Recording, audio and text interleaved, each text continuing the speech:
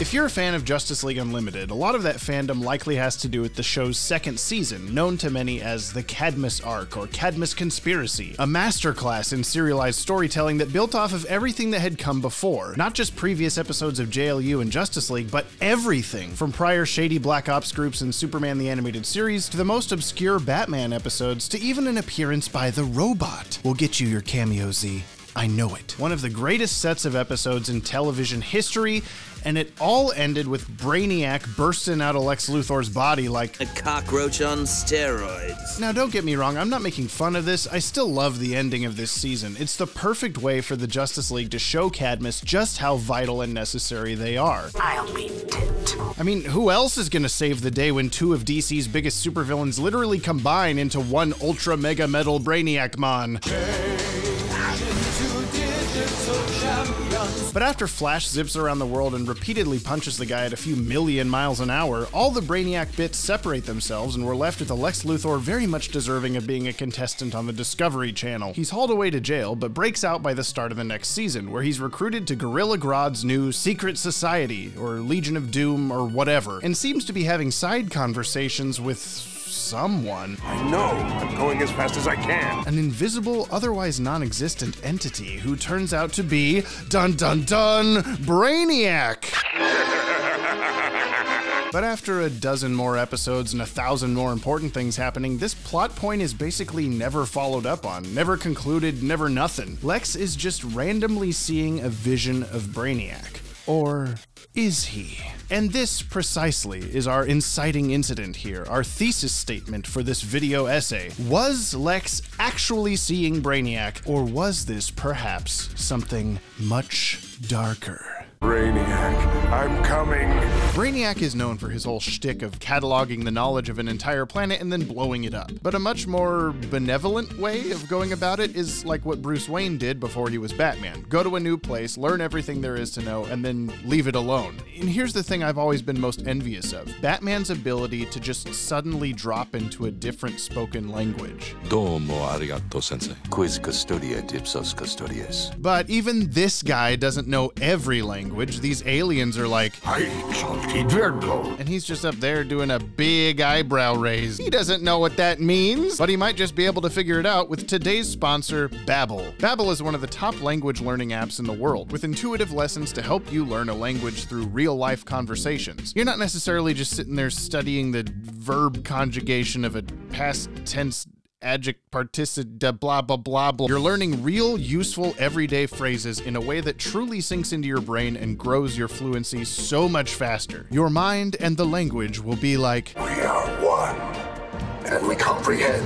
what language would you want to pick up given the chance? I've always had mild success with Spanish, so I figured I'd try and improve past the level I was at while making class projects in high school. Hey, destruyo la casi totalidad de nuestros barcos. That's probably not right. Hablamos español, inglés y alemán. Hablamos español, inglés y alemán. ¿En serio? Ustedes hablan muchos idiomas. Right now, you can get 60% off a Babbel subscription during their Black Friday sale. If you've ever wanted to learn, you can start speaking a new language in just three weeks with Babbel. Just use our link in the description. See? It worked for Batman. Można kazieke, dosa stoli nie budziesz. Airtem etastolnemat. Disclaimer You cannot learn Kasnian on this app because it's not a real language, and neither is Imperiumese. Thank you so much to Babbel for sponsoring this video. Less talking, more hitting! Much in the vein of the surrounding Cadmus arc shenanigans, even this Luthor Brainiac fusion dance concept called all the way back to eight years prior, the Superman episode Ghost in the Machine, where Brainiac has infiltrated the LexCorp computer system and traps Luthor In the basement. to make him build him a new robotic body. Once he's back to his purple, shoulder padded self, he shoots Luthor in the back with a beam of yellow or blue energy, depending on which version of the scene you're watching. Don't worry about it. It actually essentially installs a copy of his programming into Luthor's uh, operating system, shall we say. I always have a backup plan. By JLU Season 3, after the two's corporate merger has been dissolved, Luthor is still seeing what amount to force ghosts of Brainiac. Brainiac is there, guiding him, seemingly at all times, toward reuniting their consciousnesses yet again to become Luthoriak, or Brain Thor, or Robo Lexy Poo, whatever you want to call him. To get back to being Robo Lexy Poo, he's gonna have to find some way to revive Brainiac yet again, and we catch glimpses throughout the season of him attempting to do just that, while the Brainiac Vision watches over his shoulder. To pull from another sci fi series I watched a crap ton of around the same time, it's pretty much Gaius Baltar and number 6 in Battlestar Galactica if you've seen that. If you haven't, you're wrong. Come to think of it, I wonder if we were subconsciously remembering Firestorm when we came up with the Lex Brainiac's ghost gimmick in the Legion of Doom arc. But no, actually, I think we were just stealing from Six Feet Under. Which was a drama series from the early 2000s where the main characters, funeral home owners, would often see and communicate with the dead. But while Baltar's head six, as she's referred to in production documents, turns out to be something I'm not going to spoil in a video completely unrelated to Battlestar Galactica, in Justice League Unlimited, narratively, we're led to believe that Brainiac is somehow still inside Lex, for lack of better phrasing. Brainiac, I'm coming. Like a small part of his programming still remains somewhere buried in Lex's mind. Every time we as the audience witness Lex's interactions with Brainiac in this final season, every other character in the scene just thinks he's delusional. He's talking to his imaginary friend again. But Lex is pretty damn convinced. It's all he puts any time and energy toward, figuring out how to bring Brainiac out of his dreams and back into his car, so they may partake in the spooning world record once again. So for Lex, just how is this happening? Or is it happening at all? How can Brainiacs be real if our eyes aren't real? We're gonna do our darndest to figure this out, because while you may have never thought this hard about it, I, on the other hand, our first option is also the simplest. Brainiac is indeed still dwelling within Lex in some fashion. You melded with the computer being Brainiac. And at your moment of triumph, the Justice League destroyed him. Tragic. Yes, Robo Lexy Poo was defeated when Flash blasted the Brainiac bits right off of Lex like a hard boiled eggshell, but we don't really get a great look at exactly what Flash did. Just a bunch of lights and swirls and then a big explosion. Side note, this is the coolest scene in the entire DCAU. Argue with me in the comments, I dare you. Drive up this video's engagement, see what I care! When Flash hits I Can't Commit to the Bit Luthoriak at super speed, we get a lot of views of physical damage he's doing on a surface level. But unless he's also, like, phasing through Lex to remove any Brainiac DNA, so to speak, he may have left some of that programming behind. After all, he'd never gone that fast before. He didn't really know what he was doing. I feel kinda funny. It certainly seemed like the episode was trying to tell us, hey kid, Brainiac's kaput, okay? There ain't nothing left. But really, Brainiac may never be destroyed. Not fully, anyway. My entire program resides in even the smallest part of me. And the power couple did absorb and assimilate the entirety of Cadmus's confiscated remains of the Dark Heart alien nanotechnology, which got this memorable explanation from Dr. Cox. I mean, the Atom. You can't just smash up a machine the size of an infection.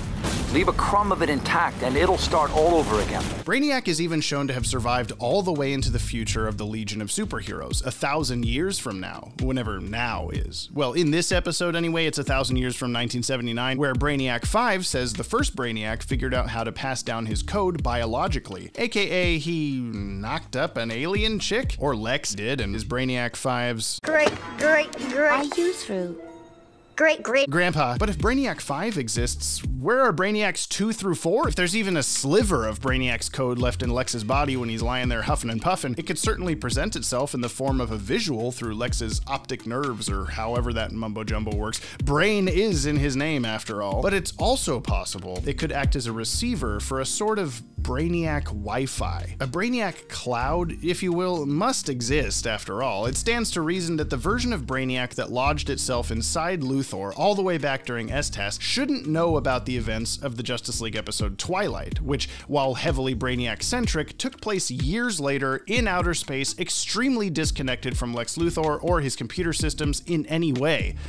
And yet, I have learned from my encounter with Darkseid that organic beings cannot be trusted. um, Huh? Your encounter with Darkseid? You've been camping out in Lex's spleen for half a decade, my friend. In Twilight, we see that Brainiac has been operating out of a giant asteroid, comic bookly shaped like his own head, for new god knows how long. This base is filled with Brainiac duplicants, physical shells that house his programming, ready to be sent off to all corners of the galaxy to do his bidding, and theoretically controlled hive mind style by the real Brainiac from this central head asteroid. And even though this does blow up at the end of the episode, killing every everyone and everything inside, including Darkseid, my point still stands.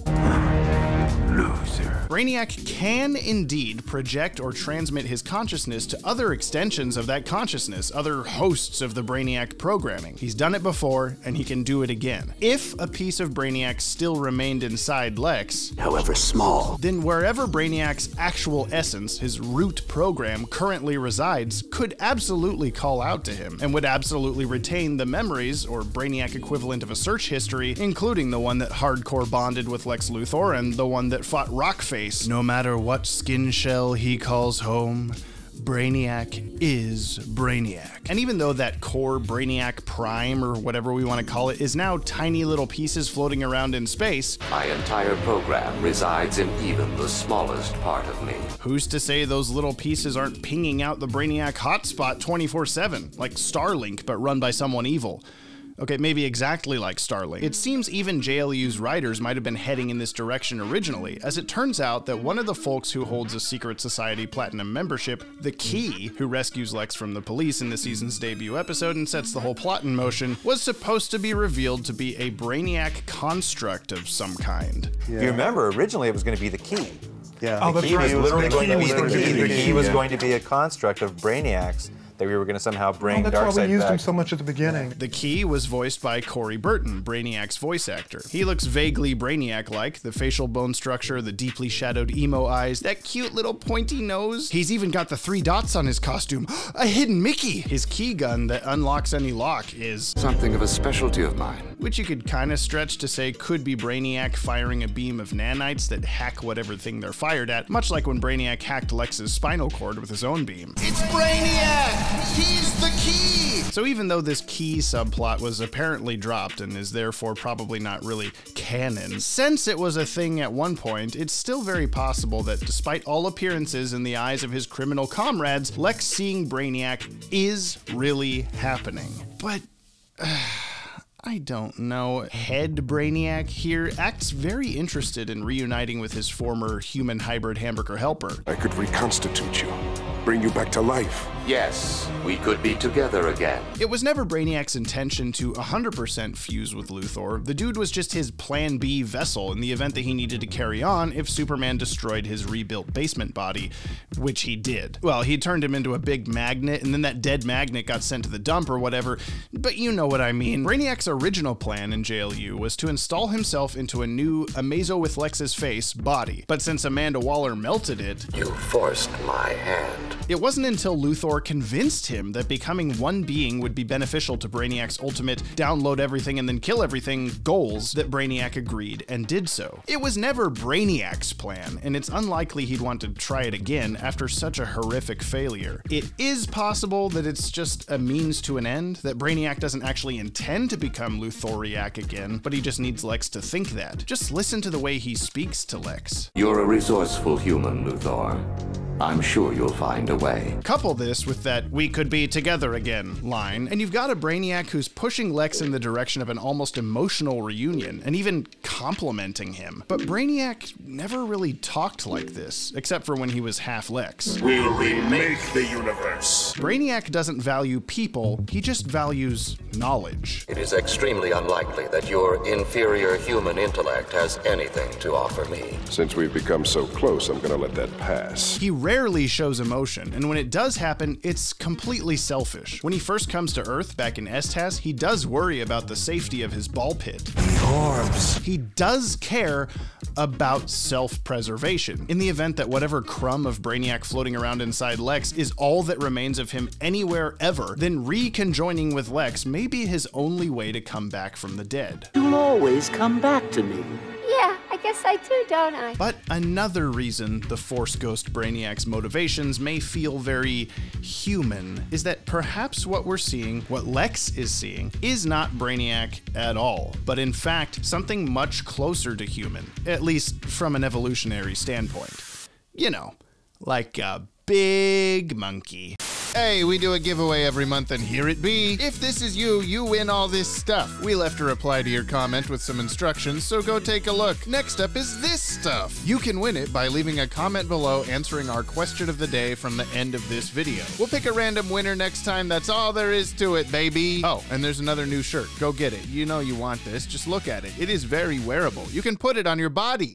Yes, an option just as possible, to me, is that instead of this actually being Brainiac, Grodd himself is tricking Luthor with his mind control powers. I'll get to the hows and whys in a second, but think about it. Grodd is a manipulative asshole. It's his entire character. He psychologically influences everyone around him for his own dastardly ends. From the romantic in Tala, Giganta, or that doctor he met on Match.com, to the powerful in every supervillain under the sun joining his swamp-based mafia. It would take a huge scam to pay for all these people. Actually, it's the other way around.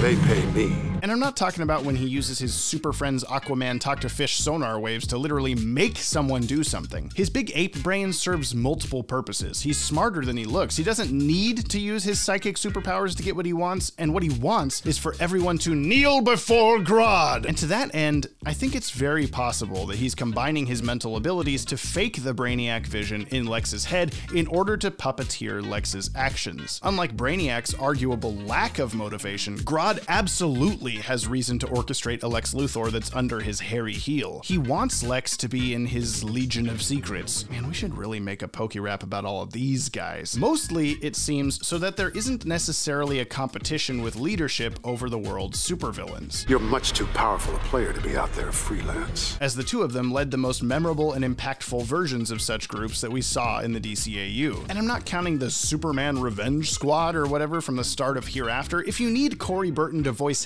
half your membership, you're not a real bad guy gang. Eventually, when Grodd tries to turn the people of the world into apes, Luthor does do a coup and takes over the Society of Doom Legion. But hey, big smart gorilla can't think that many steps ahead. Either way, if you think back to the opening episode of this season, when we first see Lex talking to Imaginariac, he's driving a prisoner transport van that he hijacked moments before Bugs Bunny came out from behind the Warner Brothers logo, and as we see when the key hoverbikes him to Swamp Town, this is likely miles away from Grodd's location. And in theory, Grodd would have had to have been projecting this fake Brainiac vision into Lex's head for a while before his breakout, while Lex was in prison, in order for Lex to get the initial encouragement to break out in the first place. Grodd's powers would need to reach pretty far, but it's possible Grodd was closer to Lex than we know. After all, in Justice League Season 2, we saw his little floaty Star Wars droid cameras watching and studying the League from a great distance. Grodd's a sneaky little bitch. Once Luthor has been brought to the big Darth Vader head stronghold, Grodd reveals he is in possession of a chunk of Brainiac, which he uses as leverage to get Luthor to join his group. How he got that Brainiac piece, I have no idea. Brainiac's headstroid blew up within Javelin 7 flight distance of Apokolips and New Genesis, incalculably far away from Earth, and the big monkey can't go to space? Big monkeys don't survive in space! The only other Brainiac piece similar to this we see post-Twilight on the DCAU timeline is this bit the Justice League has on the Watchtower in their Static Shock crossover. Even though this aired before Twilight, but let's not get into that right now. Just go watch our Static Shock timeline video later. It's hard to believe that's the last piece of Brainiac circuitry. The last that we know of. And while these two little scraps certainly look different, exhibit Joker's face, and we never see what happens to the chunk the League has. But whether or not it's the same piece, or a piece Grodd somehow retrieved from Apokoliptian airspace without being gunned down by Darkseid's big chest Nerf gun, the fact is, he has it. And what better way to hammer the point home than to fabricate a psychic image of Brainiac going, hey man, come on, help me out here, to go along with it. Now, while we could say that this Brainiac chunk is connected to that Brainiac cloud I brought up, and it itself is what's transmitting the visions into Lex's head, unbeknownst to Grodd or anyone else. When Lex does get a hold of this chunk after his monkey mutiny, nothing he does scientifically can unlock it. And you'd think, as someone who was like just half Brainiac a few months ago and is currently supposedly conversing with the real Brainiac all the time, he could figure it out fairly easily but he never does. It takes Tala using Full Metal Alchemist powers to link the piece, narratively and physically, to the events of Twilight. Transmutation is what you want to do! Transmutation is.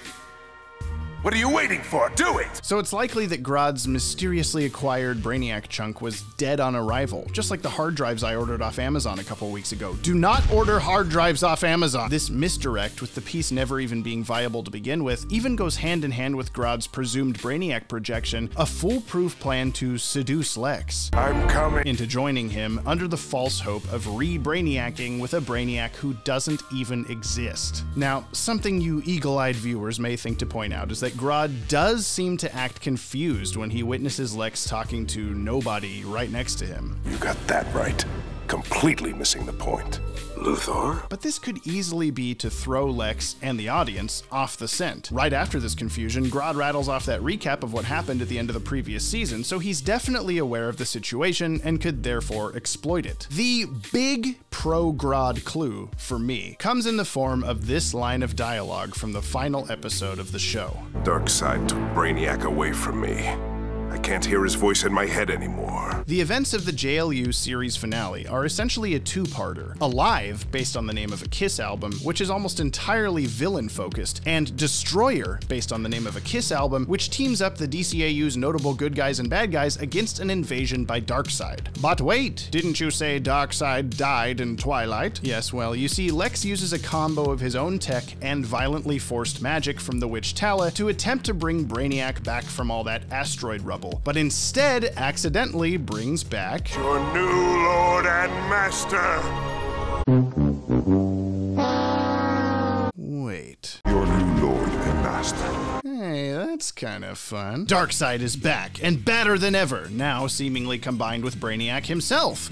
Or is he? The episode's writer, Matt Wayne, says he's not an amalgam of himself and Brainiac, that's his Kiss costume. While producer and season story plotter Dwayne McDuffie says, yes, Tala gave Brainiac's powers to Darkseid as a final act of revenge against Luthor. So, um, it's both? For the record, I think Matt's either mistaken, misremembering, or just messing with y'all. I thought it was pretty well implied that at least some of Brainiac's matter got fused with Darkseid's when he was reconfigured and resurrected. That's how I interpreted it anyway, suggesting a vaguely defined fusion with Brainiac, along with a slight power upgrade. I'm more powerful than I've ever been. I suppose I could agree in that he can, I guess, fly now. They fly now! He can do this weird warbly hand force field thing, and he can evaporate glass. And of course, it requires Superman to give a speech about cardboard in order to get his ass almost handed to him. But what about that supposed plan to have the key be a part of Brainiac, instrumental in the return of Darkseid? I Am Legion was written before the season was greenlit. The idea of the LOD arc predates my involvement, and Luthor talking to an unseen Brainiac, now truly both mad and scientist, does too. I've heard from both Bruce and Dwayne that a lot of this came from the mind of Dwayne, but I wasn't in the room. By then, we realized we only had seven shows left and pretty much knew what the remaining episodes were. Initially, we thought the key would play a bigger part than he did, but that didn't really pan out story wise, so we went in another direction. Now, why is it you always find the keys in the last place you look? So, by the time the writers knew where they were going with the series finale and not doing a big Brainiac revival reveal after all, they lost the keys behind the couch and hoped nobody noticed. It was, after all, only extremely mildly hinted at, even for folks like me. The key even cited against Luthor in the big final bad guy fight, so take that as you will. So, if all that was left of Brainiac in the whole universe was in those floaty space bits, and if Darkseid did truly fuse with said bits after they and his own bits got all vacuumed up, then I guess I can concede that Darkseid's supposed Brainiac fusion could be the cause for the disappearance of the Brainiac that Lex is seeing. You destroyed Brainiac, and I'm going to make you pay! But think about what also happens right around this same time.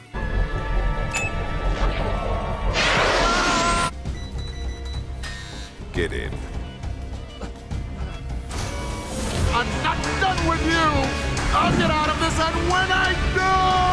I blew it out of the goddamn airlock. That's right. Lex says he can't hear Brainiac's voice in his head anymore, only after he flushes Grodd out into space. Sure, a few minutes pass between Grodd's demise and Darkseid's undemise, but Lex is super distracted, bringing back who he expects to be Brainiac. He's very excited. Brainiac, I'm. Could he even notice exactly what the catalyst was for the Brainiac vision's extinguishing? It makes all the sense in the fourth world that the minute Grodd's simian structure flatlined, his fake Brainiac Brainiac brainwaves would follow suit, and the timing couldn't have been more perfect. I don't believe in coincidence. And what in the world does Lex's airlock code stand for? June 6th, 1969? It's not his first comic book appearance, nor Grodd's, nor anyone else substantial I can find. Some crew member's birthday? Did Lex just think it would be cool to make it the funny sex number? Sometimes a number is just a number. Shut up, Dan! You're not my real dad! When Luthor and the Flash switch bodies in the Great Brain Robbery, neither of them sees and interacts with Brainiac. Not Flash in Luthor's body, not Luthor in Flash's body. I bet we all would have found it confusing to stage a needless complication for a comedic mind swap episode. Much easier for us to luck into nobody seeing Brainiac.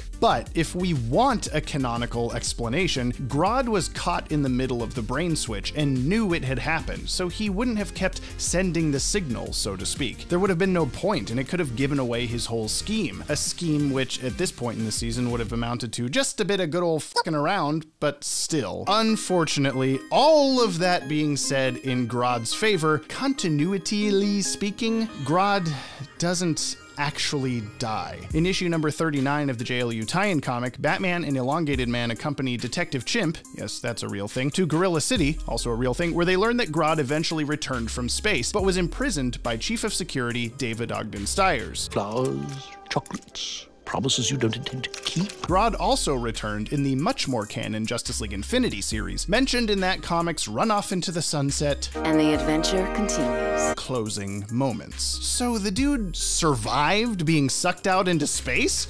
But how? Correction, sir. That's blown out. Thank you, Data. Well, any number of ways. Picked up by a passing ship like Superman and J'onn were in Warworld, saved by a Green Lantern or the like. We found ourselves dependent on the kindness of strangers. Maybe I'm wrong and big monkeys can survive in space. No, they can't, you say? Well, they also can't talk, Linda. Flash survived in space for a bit in Maid of Honor, or all those Leaguers that Amazo took out in The Return. The General got pushed out of the Watchtower in 90s JLA comics, and he's just chilling on an asteroid the next time we see him. Perhaps Grodd has connections with other planets. How else did he have a chunk of Brainiac from the Twilight explosion? Or maybe he hitched a ride on the Viking Prince's boat. There's endless explanations with a little imagination, and there's always Bruce Timm's supervillain death clause. You really can't count any character as dead unless you see the body, even more so unless you see it cremated or otherwise irreparably destroyed even by comic book logic. And yet, even that much didn't stop the Joker from cheating death. Anything is possible in the land of make-believe. But he's he's in hyperspace, so if we have to bring him back, That's right. Oh yeah, we could absolutely bring him back if we had to, but because they're I in don't see warp, how he he could be in, in on the warp place. So if Grodd didn't die, why did the Brainiac vision stop? He may have gone unconscious, which still could have caused the vision shutdown, or maybe he just didn't need to toy with Lex anymore because the villain on villain space insurrection was already happening and Grodd had moved on. But is that every possible option exhausted? God damn it, that's not all. You can just kiss all that goodbye. Realistically, we do have an option three. Lex is just losing it. Grodd must have used mind control. Okay, maybe not. Now, I'm not saying Lex wasn't seeing the Brainiac visions. He was. I'm just saying it was his mind's own doing. He was feeling sensations that he thought were dead. No squealing. And remember that it's all in his head. Psycho. Luthor being mentally unstable does track. He seems to slip further and further from having a grip over the course of JL and JLU. I mean, just think of everything he's gone through. So much for your image as the benevolent businessman. This is the end of an era. He loses LexCorp, which he spent his entire life building, gets cancer, fails to destroy Superman and the Justice League time and again, even when he tries using a skyscraper sized Evangelion, gets a full pardon on his sentence by shooting Justice League doppelgangers with a big laser gun, runs a years long fake presidential campaign, All just to tick Superman off. fails to get rid of the League on Cadmus's terms, suddenly becomes cancer free, has giant robot tentacles burst out of his body, becomes one with a Kryptonian supercomputer, gets violently separated from it, and then gets carted off to jail for presumably the rest of his life. Guess it makes sense that he would at least start seeing stuff. And they're going to burn for it. Burn! Okay, different Lex, but you get it. You'd think if the visions were, well, real, aka actually Brainiac, or Grodd pretending to be Brainiac, that it would be a bigger plot point throughout the season. Like, things would culminate in another big Brainiac fight. Even poor Goldface knew that Luthor and Brainiac had been an item. So you merge with a living computer like you did before. It was probably probably news worthy of Snapper Carr, Angela Chen, Summer Gleason, Sroya Bashir, and Jack Ryder, the Creeper, combined. Of course, the point is that we do think it's going to lead up to that, and everything is subverted by Darkseid showing up instead. And that was probably the best choice, as it would have just been a repeat of the prior season's big climax. But still, we'd probably have seen Brainiac more often, and or for longer periods of time. At a certain point in the season, he just stops appearing. We get a glimpse at the start of I Am Legion, the end of I Am Legion, and the start of Grudge Match. That's it. Maybe Lex saw him more than we saw him see him, but who knows? We deliberately left it open to interpretation, but personally, I think Brainiac's ghost was totally a figment of Lex's imagination. In other words, Lex was cracked and manifested the ghost himself just out of his own burning desire. when Darkseid returned, Lex's subconscious was convinced that Brainiac was gone for good, hence Brainy's voice went bye bye. We never even considered that Grodd was manipulating Lex by sending him visions of his lost partner in godhood. Hmm, interesting interpretation. I can see that it's possible. Not much definitive textual evidence to support it, though. Not much textual evidence, sir? You know something, Bruce? You're not always right. It's possible it was Grodd. That's a win in my book, and my book is full of losses. So maybe it's Grodd, maybe it isn't. Normally, I'd take anything Bruce says as law. As canon. But it doesn't seem like it was the intention anyway. Though, what is a good fan theory if not an inventive reinterpretation of the data we're provided? I thought Brainiac was real, but I also knew that our stories were arranged to not commit to it either way. Dwayne rightly knew that sort of ambiguity drives the fans crazy and makes the drama better. It sure does, Matt. It sure does. In the end, if it were up to me, I'd say at the very least, Lex does still have some Brainiac left in him. Coming. Lex was able to pass through the friggin' source wall after Metron told him that only a 12th level intellect has the slightest hope of surviving what you are about to experience. Would you say I'm a level 7 susceptible? No, because why would I? Because that's Moonman talk. Crap, now I have to wonder if Metron was ever even really there. Look, I know we did a whole video about Metron maybe being a Lex Luthor from an alternate universe, but now I almost want the other character that only Lex ever sees to just be another resident of Luthor's home for imaginary friends. But hey, this is all just a theory. A DCAU theory. Thank you very much again to Babbel for sponsoring this video and to all of our wonderful Patreon supporters. Once we get to 200 of you, we'll do a Will It Canon episode on if Teen Titans and The Batman exist in the same universe. And I know you want to see that, so hey man, come on, help me out here. People say all the time they want Brainiac to be the big bad in a live action Superman movie. So for my question of the day, I want to know what aspects of his history would you want adapted? I must call James Gardner immediately! And of course, also let me know which theory regarding Brain Brainiac you subscribe to. You will regret your decision. We all will. You said he'd come.